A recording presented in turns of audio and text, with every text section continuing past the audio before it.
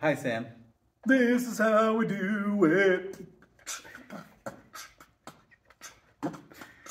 Is this Sam's childhood or youth, Uh, yeah, my youth. I didn't. I'd never listened to that kind of music. Can you move over a bit? Can you not sit so close to me? Once again. That's my youth. That's more like the '80s. Come stand so close to me. Yeah. Sam, I, I, bad news for you. Good. I We're not, we're not, we're not that funny. What? We're yes, not that we funny. are. No, we're not. I We was told too. by a friend of mine, Adam. He said, "Yeah, "Okay, you're not that funny, guys." How rude. That's it. I'm stopping this right now. Okay, he's now officially on my my ignore list. you have a lot of people on that list. Yep. Now, next time he sends me something, trash, trash, trash. Next time he wants to play in my band on short notice, trash. I think I really touched your nerve. Next time he I? wants me to listen to something he said, trash. I think I really touched your nerve. You did. No, he touched a nerve. You're just you're just reporting it. You For all you know, I made that up. you just ratted him out. No, I just may have made, I made that may have made that up. That was just me maybe using Adam You as specifically I know, said I know, Adam I know. said that we're not funny. I know. Not that funny. Not not funny. He said, like the stuff on the gospel is great, but, but you're not as funny as you think you are at the start. He said, have you thought about just doing something serious instead of something funny for a long time and then serious? Okay. No, Can we get started now on the serious stuff? I guess so. Now that my now that my ego is hurt and I'm feeling sad. My work here is done. Actually, I can actually go now talk about the tax collector. actually it is. I'm a lot like a Pharisee. Yeah, I think I think Jesus' point was we're all a lot like the Pharisee. No, oh, specifically, I mean, this case making you feel bad. Oh yeah, I guess looking down on you for not being funny, etc. We have friends or a couple, and the fellow's a Protestant minister, and his wife. They're they're actually French, or she's a French citizen. She works for like Revenue Canada equivalent of France. So they were visiting the first time we met them together. Our family's known for years, and she said it's like the Pharisee and the tax collector. Their marriage, get it? Pretty funny. Speaking of which, why did I mention that? Because this coming Sunday, the passage, which is from Luke chapter 18, is about two characters in a story who would be familiar characters in Jesus' day. If you've been following this series, or you know anything about the Bible and, and the Gospels, you'll know about the Pharisee and the tax collector. And um, what I felt was really interesting about this passage is that Jesus sets up a comparison. And really, the point of the comparison is that comparisons are always a bad idea because the man at the front of the temple praying is the Pharisee. The man at the back of the temple bowed down, um, not even raising his eyes to heaven, looking down, basically prays, Oh God, be merciful to me, a sinner. That's the tax collector at the back, officially bad guy. The guy at the front, officially good guy, officially holy, the Pharisee, basically talks to God and tells him how great he is, especially compared to the tax collector at the back. And um, what Jesus is saying at the end to summarize this passage is when, when I lift myself up, which I do a lot, by the way, um, I will be humbled. And I've actually experienced that. And that's actually God's favor to people who lift themselves up, as I sometimes do. He humbles us. Um, and on the other side of it, people who are humble within themselves will be lifted up. And that's, that's God's work. That's the way God does things. Uh, so, especially, this is addressed to those who are convinced of their own righteousness and despise everyone else. Now, you may not be like that. You may not be like that. But I can be like that, comparing myself to other people and saying they don't really understand, they're out of it, etc. It's so easy to come across and to actually, therefore, to be arrogant, meaning lifting yourself up and putting other people down, at least in your mind. And I think this is a really important um, passage about who we are in relation to God, because in relation to God, we're all on the same level, because He's infinite, we're all finite. And that's Hmm. our backgrounder for this week. Wow, we're gonna get a print version of the backgrounder ever again, or Actually, I had one, I just forgot to send it to you. oh, too We'll bad. have one for next week. Okay, Yep. All right, so Sam, watch for that in your inbox, for next week. unless you're not signed up to receive the backgrounder. You should be. You- You're welcome And now it. you should be ashamed of yourself, as I am right now, Of them or of yourself? of myself. Oh, because your ego, because you're not that funny. Yeah, because I'm not that funny. So, I don't want to be funny. I only ever wanted to be funny. No, I've been told I'm not funny. I was, uh, I was that was all I had, Adam. that was it. That was all I had, and it's gone. You've crushed it. Okay, thank you. that's God exalting the humble and humbling the exalted. Yes. Okay. That's the sound of my heart breaking. oh, Are we going to pray? sure.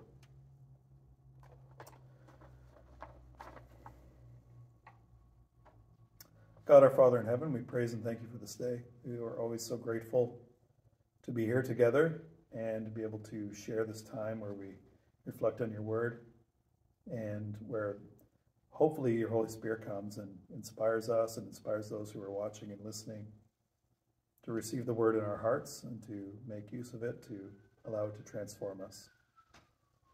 And um, we just ask you, Lord, to, to allow this message tonight, the message of uh, the gospel of the tax collector and the Pharisee as they approach you to prayer, that we would be able to approach you with a humility and with a right sense of who we are and who you are, and always seeking your mercy, always seeking your forgiveness.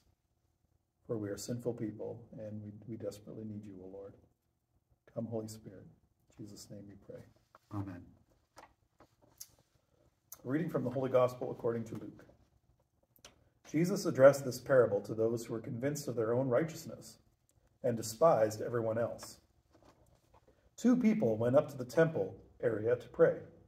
One was a Pharisee, and the other was a tax collector. The Pharisee took up his position and spoke this prayer to himself O God, I thank you that I am not like the rest of humanity greedy, dishonest, adulterous, or even like this tax collector. I fast twice a week and I pay, pay tithes on my whole income. But the tax collector stood at a distance and would not even raise his eyes to heaven, but beat his breast and prayed, O God, be merciful to me, a sinner.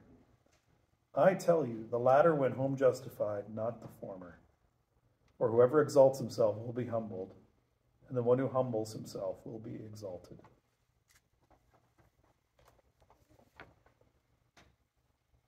I'm going to read it twice. Yeah. Jesus addressed this parable to those who were convinced of their own righteousness and despised everyone else. Two people went up to the temple area to pray.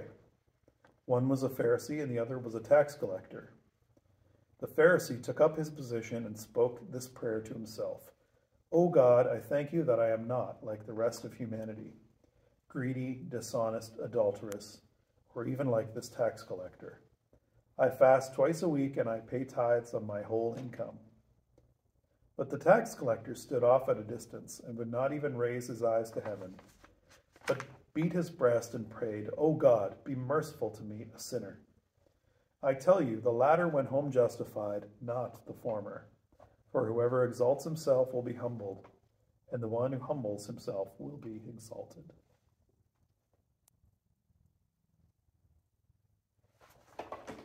Later, take a few moments of silence just to reflect on the passage that we just heard, and then uh, we'll share a little bit. And you can also come forward with whatever is in your mind and heart.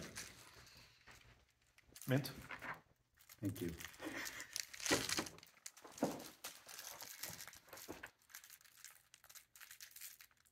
What's that silent? Silence is an interior thing.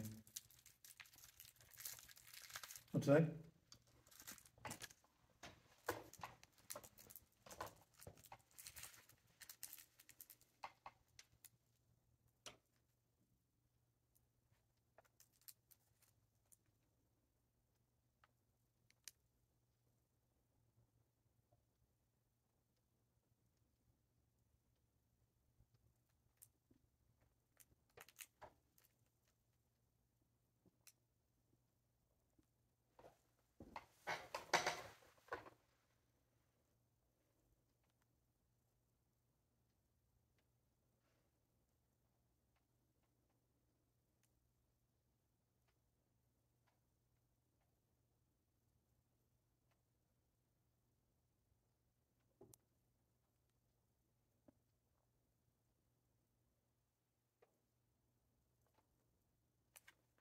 For it. Okay, you ready, everybody? Hold on to your seats. no, I'm just kidding. Um, so this, I don't know, seems kind of obvious to me. I imagine this is why Jesus put it. Jesus said this. So he, he's, it's kind of hyperbole. I mean, people don't normally actually say this, Sure. right? I think it's interesting that he's, it says he spoke this prayer to himself, hmm okay? That's, that's, I think, just a really, This is the Pharisee. this is the Pharisee took up his position and spoke this prayer to himself. hmm So a prayer normally is addressed to God. This prayer was addressed to himself, which is funny. He probably thought he was praying to God, but really it was a self centered prayer.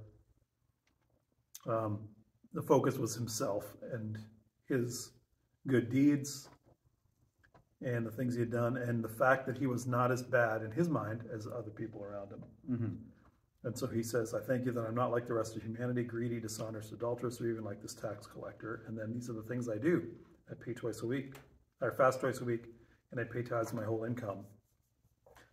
And I've I've just been again, I don't want to I don't want to do what the Pharisees doing right now, comparing myself to other people, because I have certainly done this too in my in my mind. I've spoken this prayer to myself before, hmm where I think to myself, well, at least I'm not as bad as so and so. Right. Or look at them, I'm so glad that I don't have that struggle or I'm not involved in that bad thing or whatever. I've heard this a version of this in the church so many times. Heard or kind of witnessed it. hmm It's a very easy thing to do and a very easy thing to fall into. To make ourselves feel better, to make ourselves seem more holy, more virtuous, more righteous. We tend to compare ourselves to people that we perceive as worse. It's just something that we do. I think if we were honest, all of us have done it.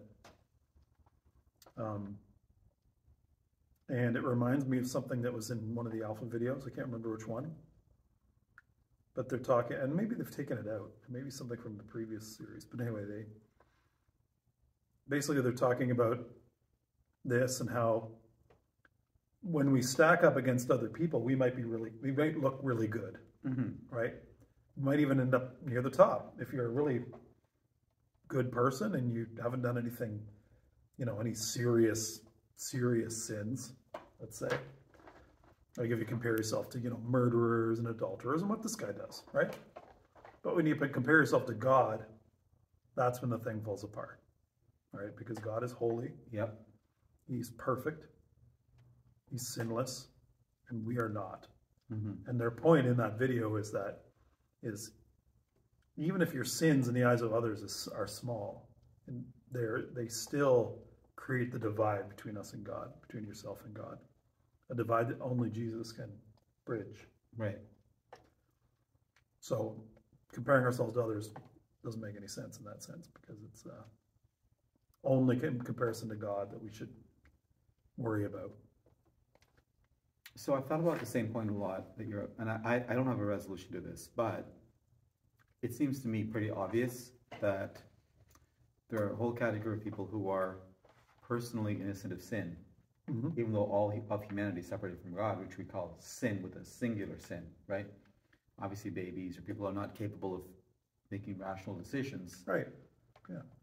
So, is that person in God's eyes as far from Him as people who've actually done terrible things? That's a question I ask myself. Mm. I think the answer is I think it has to do with looking at ourselves as individuals, which we're not. We're not separate, in, we are each individually responsible for our actions, but we're not just individuals. We're part of humanity. The Bible even, Paul writes like this, refers to us all collectively as Adam. Mhm. We're all in Adam, speaking of our friend. Um, I meant the man referred to in the beginning of the Bible, the Mhm. ancestor of humanity. And Jesus is referred to as the new Adam. So we're not actually able to separate ourselves from other people. Maybe that's one of the things this tax uh, Pharisee is doing. He is saying, I'm not like that. I'm separate. Even the distance that Jesus uses is like, no, that's nothing to do with me. That's his problem, not my problem. Mm-hmm. But to use a language I believe that's used in quantum mechanics, we are entangled. Quantum entanglement is some, some weird like it. phenomenon, which is like one particle, sub subatomic atomic par- particle does something way over here in the universe, and all of a sudden it's somehow connected to the status of another particle that may be like trillions of No, a different particle does exactly the same thing. right, They're entangled. They're they're linked. right. Yeah. Um, very cool. Very weird stuff. hmm Yep. So I've been hearing a lot recently uh, about what happens in a community, for instance, where I live, and I know this is true of Hanover as well. When there are some people in the community, in my community and here, who have addictions that are not just about an individual struggle, but also affect their whole behavior, can be really destructive for people around them. Whose problem is that? Is it anyone else's problem? Is is the, is our goal primarily to sort of restrict that person's life so that they're not harming other people? How are we connected? Are we actually connected with people who are obviously harming other people? One response is just to say, well, love everybody. I think that's a starting point, but not enough. Because that doesn't actually deal with the reality of people who are neighbors to someone who's harming other people, which I know is happening here and, and where I live and probably where we all live. Um, we can't just ignore that. But nor is it the case that, you know, let them get their act together or we'll throw them in jail. That doesn't actually make things better because, as, as probably pretty well known, if you put someone in jail for a while, they, are probably going to get drawn into worse criminal activity and probably worse addictions and that kind of that whole way. It's, it's a way of training people for crime. Jail, right? Prison, whatever you want to call it. So, the phrase I was focusing on, which might help, and I'd like to, you to respond to, is they both say one thing at the start that's the same, which is they start their prayer. The Pharisee and tax collector, they say, "Oh God." So, at least in their words, they're they're looking at the distance, as you were talking about between. The, like, it is kind of weird to think that we can talk, that I can talk to God, you can talk to God, you can talk to God, and He's listening. It's a weird thought to me. Why would it be that, let's just say the word creator, because a lot of people refer to a creator, that the creator of everything actually cares enough to want to listen to me? That's a weird mm. thought. Yeah. Yet many people, like me and you, and lots of people who are not necessarily churchgoers or even formally believers, pray in the sense that they, their hearts lift up their hearts to God. That's what prayer basically is, right? So mm-hmm. both of these characters in this parable of story of Jesus are reaching out to God with the expectation that He's listening. And I think that creates what Jesus is doing here is he's giving us a God's eye view of humanity. Like, how does God actually see us? Which includes like innocent babies, people who are not responsible for their actions, as well as people who are like willfully harming other people, and most of us somewhere in between. Somewhere in the middle. Yeah. And I think he sees us as entangled. Connected. A mess. We're a mess. Oh, a mess. yeah. Collectively. We are entangled. But I- tangled also means like a mess, right? Tangled up. I like that. It reminds me of something we talked about recent in a recent Thursday night appetizer, which was um, about how like the devil seeks to, to divide, hmm and the Holy Spirit calls us into unity. Right. Right? We talk a lot about unity. Right? Yeah.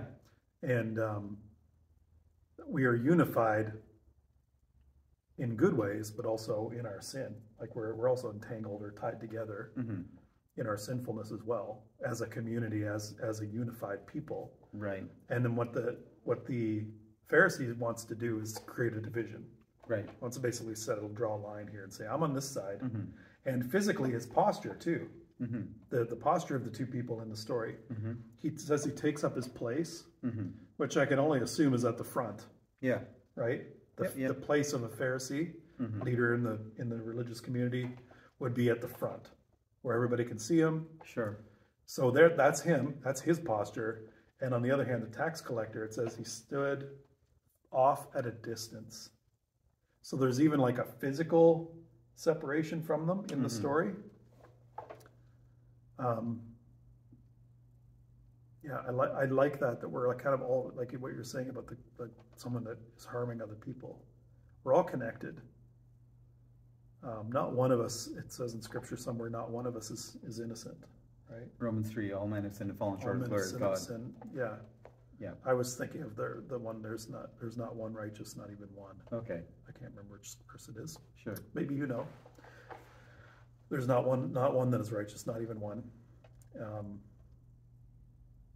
that sh- that should be a freeing notion to us. It sounds depressing. Why do you think it's freeing? I It sounds depressing, but okay. And uh, this is the other thing I was thinking of. Other than that one, um, he spoke this prayer to himself. Mhm. I don't. So it's obviously Jesus is pointing to the tax collector as he Yeah. has humility in his heart. Yep. He's saying to God, "Be merciful to me, a sinner," which is a really famous prayer Mm-hmm. and probably one of the simplest prayers you can pray. I recommend praying it Yeah. often, but his posture is wrong. Whose posture? The tax collector. Also wrong? His posture is wrong because, and maybe maybe this is before Jesus, and maybe this is the way Mhm. this is the way he felt. He felt sinful and he felt ashamed. Yeah. And so he stood off at a distance. But what I want to tell you and you and me is that we don't have to stand off at a distance. That Jesus came to save us and he loves us and he wants to give us his mercy. Mm-hmm. Um, there's a line from a song which I really love. Um, it's called Kyrie eleison by Matt Maher and uh, a few other people. Which means Lord have mercy. Lord, it means Lord of mercy in Greek, and um, it's a, a line we say in the Mass. And during the bridge of that song, it says, um, something uh, God who pardoned all our sins, so ready to forgive, you delight to show your mercy. Mm-hmm. And it's that word delight. You delight to show your mercy. Right. And then we repeat that line in the song over and over again. God delights in showing us mercy, and He doesn't want us to stand far off. I think of like a father when a child has done something wrong Mm-hmm. and they recognize it. You actually want to embrace that child, right? You want the child close, not far. We may feel like we can't be close to God, like we've offended Him. Maybe we have. Maybe we've done something terrible. Yeah. But He wants us close. Like He So- wants us in His presence, and He wants to give us His mercy and His forgiveness. That's just what I, I just don't stand far off. Don't think of God as like far away and like I can't go to Him because of my sin. He actually wants us close. That's Okay. how's that? You're making me think, Okay. which is good for me. I need to think. Our Um, tendency is to isolate ourselves when we yeah. did something wrong, yeah. right? And Okay. shame, shame makes us do that. Right. Right. But that's not actually what God wants. Right. He desire, he delights to show his mercy. Okay, because the very last line is the one who humbles himself will be exalted. These are Jesus' words, the message. Whoever exalts himself will be humbled. The one who humbles himself will be exalted. The one who's standing at the back, maybe in shame. Seems like shame to me. Yeah, I don't know. but you know what? Okay, what if shame? There, there's there is there's maybe a way in which shame is a good thing. Oh, sure. Yeah. right? Because shame is actually a gift of recognizing, It's part of our conscience, part of what Right. God gave us to, right, to know right from wrong. If you feel shame, chances are what you feel shame about it's wrong. is wrong. You Yeah. shouldn't do it. But shame by itself, without grace, without God's, without Jesus' gift of redemption, Mhm. can become a trap. Yep. And and shame is used as And a. it can be a tool of the devil. I was going to say that, Yeah. What were you? Okay. but well, almost like like this, in the sense that it can be people can be shamed just for who they are, not for anything they've done by other people. So shame can be used to manipulate people. hmm And the- the whole category of tax collector was a category that was considered shameful in the religious culture of that time. Yeah.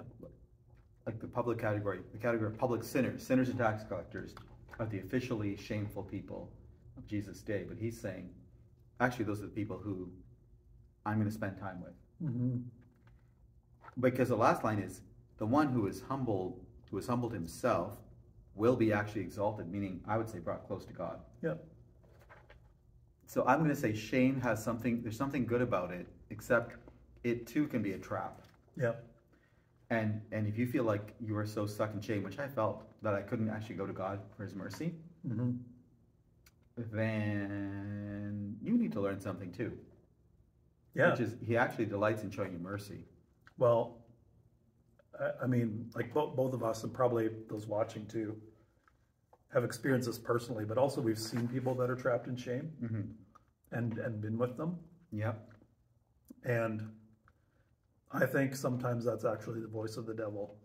Yes. Like I shame, shame is shame is part of our, as it's part of our conscience, and it is part of a gift God gave us to, to know right from wrong. Mhm. It's it's a tool that God uses.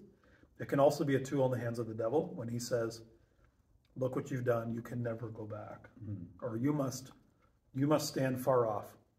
You you should be ashamed of yourself, and you can't go back to God. You can't Right. you know isolate basically to isolate yourself um, far away like the tax collector. I think the tax collector he's humbling himself but it can go too far and it can become something the devil uses.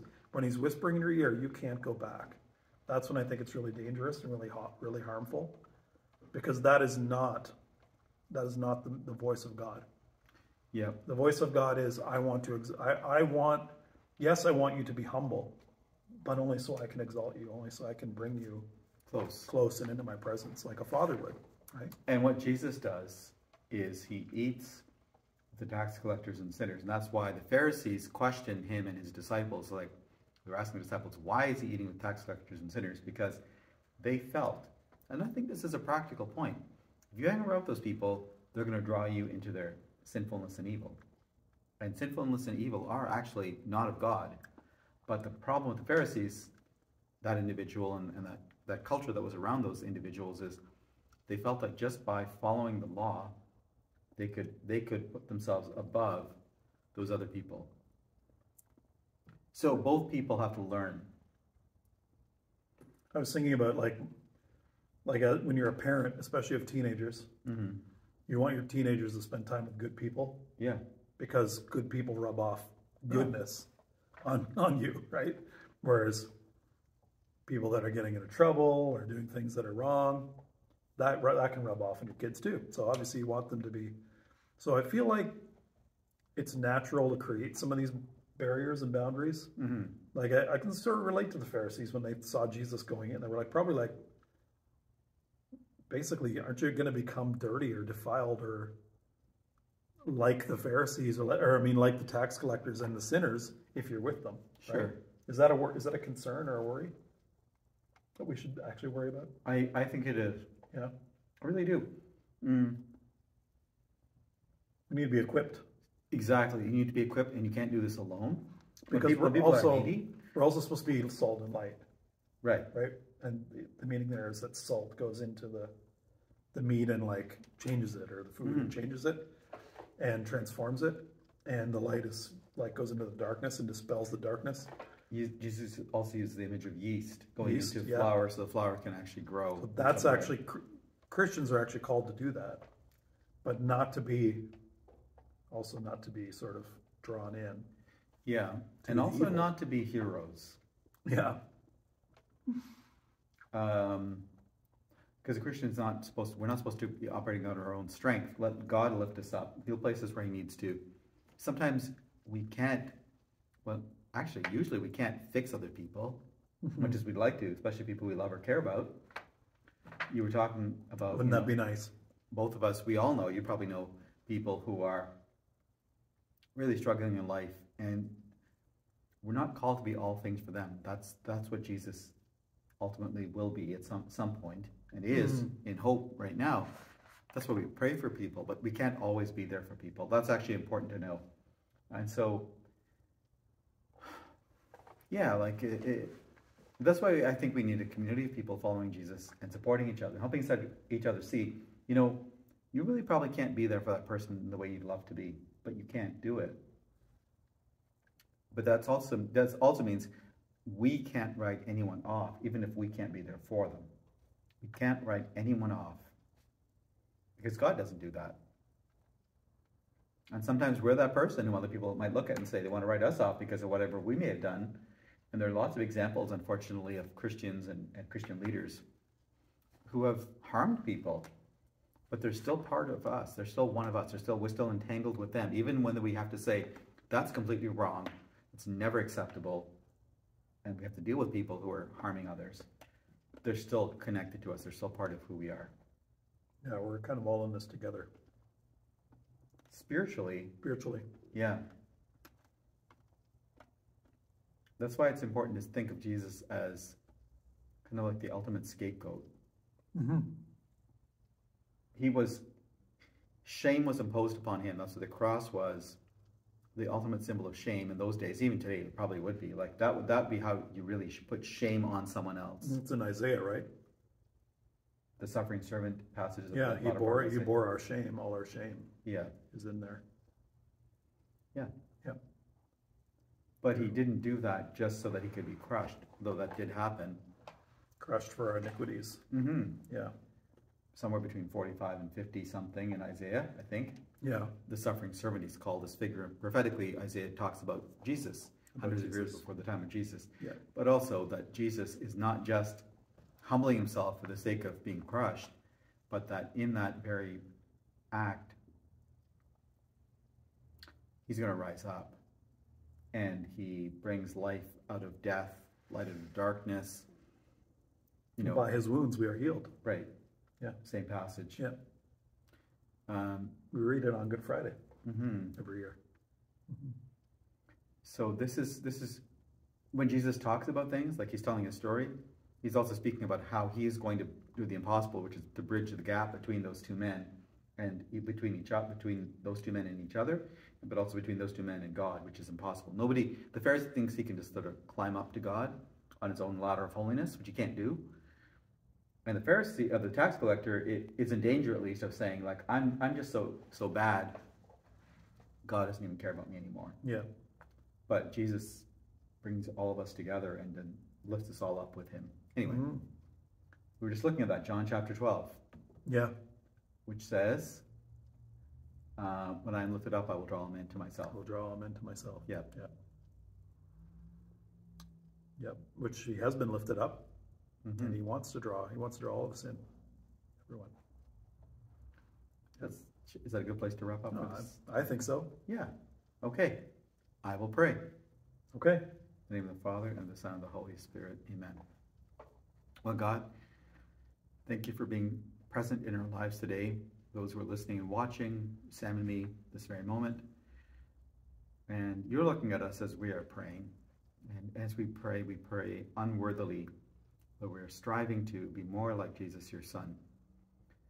And sometimes we're lifting ourselves up, and sometimes we're hiding in the darkness and not wanting you to see us. But you know and love each one of us as your beloved child. You've called us into a brand new relationship through your Son Jesus, and we thank you because this means that our hearts can be opened. We pray for the gift of Holy Spirit to open hearts that may be closed to you, closed in self righteousness and closed in, in despair. Open our hearts whenever we fall into those temptations so that we know how much you love us. We know that you delight in showing us mercy and you are drawing us all together as one, drawing us all to you. We pray this in Jesus' name. Amen. Amen. Thanks, everyone. And um, special shout out to everyone who's been coming to The Chosen on Wednesday nights. We just had week three on Wednesday, and uh, it was fantastic. Jesus and the little children. Mm. Yeah. There's a quote from Isaiah there too at the end where um, the children are bugging, basically bugging Jesus to tell them what he's up to because he's he just like kind of living in the wilderness. Yeah, yeah.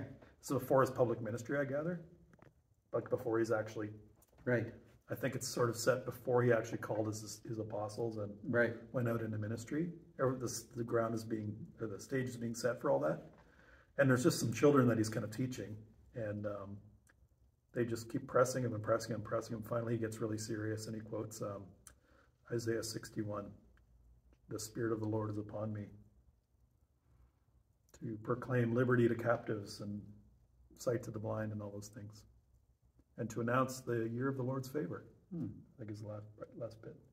And that, like we were saying about the suffering servant passage, that prophecy was about Jesus. So he's he's quoting. What I love about that show is that you see Jesus quoting the scriptures about himself, Mm-hmm. which he does in the Gospels. But um, Yeah. it's just something about seeing him do it. It's like, whoa, this guy is the one they prophesied about. And the children probably didn't get it at, first, but wow. Like they'd been learning about that Isaiah Verse. prophesying the Messiah, and here he is, Yeah. right? It's just amazing. So it's been quite a, quite a ride so far. Good food, good community, good unity, Good laughs. good laughs. No, I'm not funny, so um, I guess uh, maybe there haven't been any laughs. I just like to bug them, as you guys all probably know. See you next week. Sorry, I've got my. That was candy all I bar. had. You took it away from me. Amen. At least I think I'm funny. You're funny. I think you're funny too. All right. Bye, everybody.